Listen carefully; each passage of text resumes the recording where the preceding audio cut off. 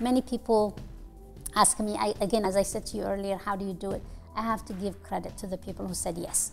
Each of the speakers and everyone who comes to the symposium, we're not paying them, we don't have money to pay. And I want to make sure that everyone knows they're giving their time and their treasure to make sure that the symposium is successful. We are in debt to the experts who are saying, yeah, I'll come. I'll come from Africa, I'll come from East Coast, uh, Europe, wherever they're coming from.